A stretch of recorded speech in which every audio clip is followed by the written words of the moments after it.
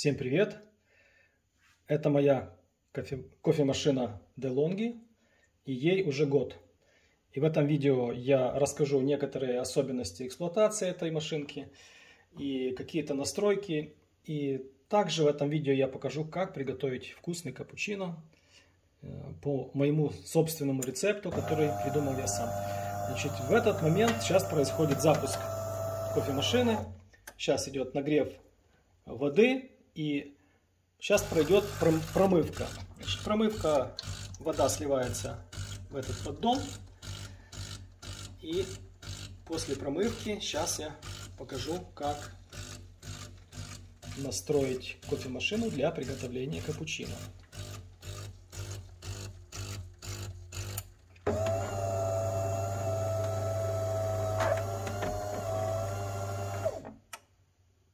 Первую очередь, для того, чтобы приготовить капучино, вы не забудьте, что нужно заполнить отсек для кофе.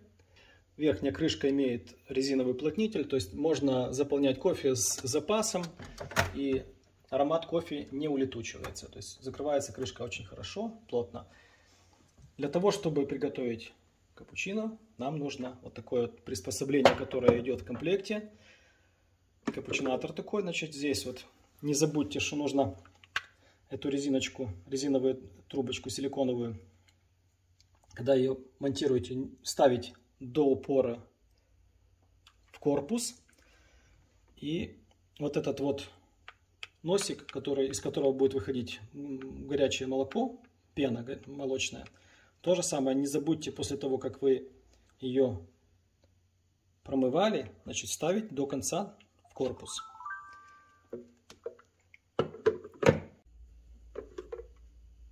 Необходимо залить холодное обезжиренное молоко э, в зависимости от того э, количества, сколько вы хотите приготовить кофе. Но я для себя уже сделал меточку. Здесь вот такая метка у меня есть. Я э, маркером поставил ее. Эта метка означает, что столько молока нужно налить для приготовления одной порции капучино. Даже с запасом. Напоминаю, что молоко должно быть холодное, обезжиренное. Вставляем.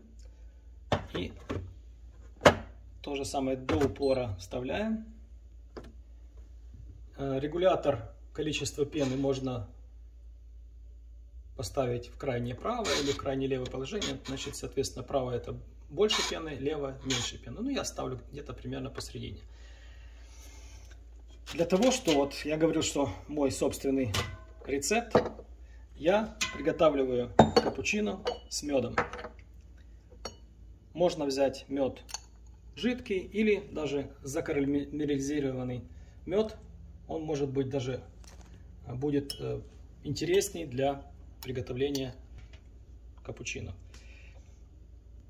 Я ожидаю, что капучино получится три слоя. Ставим вот таким вот образом это все. Ну, основные настройки, значит, здесь вот, нажимая на эту кнопочку, мы выбираем крепкость кофе. Нажимаю последовательно. Предварительно молотый, это здесь вот есть возможность засыпать предварительно молотый кофе. Но мы выбираем нормальный вкус. Поворачивая вот это колесико, мы выбираем количество кофе приготовленного. То есть это будет большая, э, маленькая, чашка, или можно выбрать свой объем кофе, настроить его. Здесь вот есть меню «Мой, мой кофе».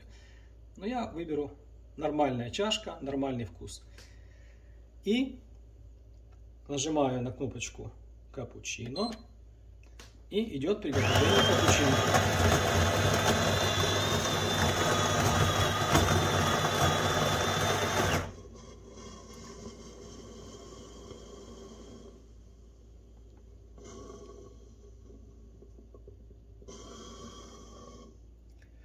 Размолотилось кофе, но сначала будет подано молоко.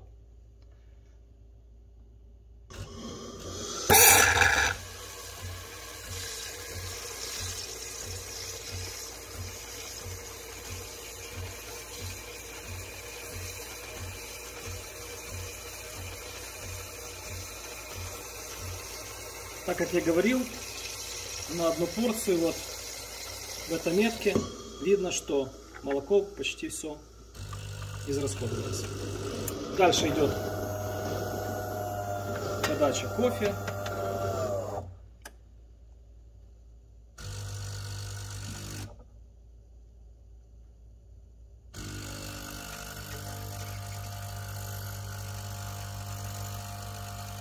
И вот самый интересный момент. У нас получилось, получается, пока еще получается только трехслойная капучино.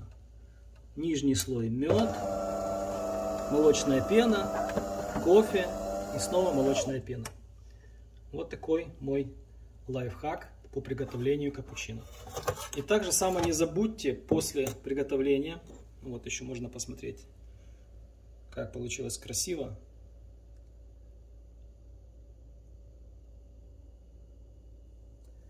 Не забудьте после приготовления капучино всегда нужно ставить на положение клин очистка капучинатора. Ну, для того, чтобы не было таких выливов, можно подставить какую-то кружку для того, чтобы вода с промывки не вытекала на стол. Вот я этого не сделал, хотя обычно это делаю. И также само не забудьте, что после приготовления капучино нужно вытащить узел для э, приготовления молочной пены и вытереть вот здесь вот, взять салфеточку и повытирать, потому что здесь есть остатки молока. Я обычно использую плотное бумажное полотенце кухонное, одноразовое, то есть я вытер и выкинул. Также самое есть еще один лайфхак, который я могу вам рассказать. Это если вам нужно просто приготовить молочную пену, а, для этого можно сделать следующую настройку. Вы нажимаете сюда на центральную кнопочку и выбираете предварительно молотый. Э, таким образом машина будет понимать, что нужно взять кофе из этого отсека, но Туда не засыпайте ничего. И таким образом у вас э, приготовится молочная пена. И кофемашина поймет, что нету кофе, у нас просто остановит цикл приготовления капучино. Но у вас будет горячая молочная пенка. Капучино получается всегда у меня очень вкусная. Я э, люблю этот напиток. Если было интересно, Заходите на канал еще, не забудьте оценить мое видео. Всем пока, до новых встреч!